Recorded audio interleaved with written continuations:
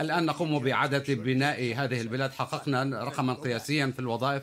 11.2 مليون وظيفة. قبل وصول تلك الجائحة كنت أتلقى اتصالا من من شخصيات لا يتصلون بي بالعادة وكانوا لا يتصلون بي بشكل طبيعي. كنت قد حققت أفضل نسب توظيفا للاتينيين والأفارقة والنساء والأسيويين.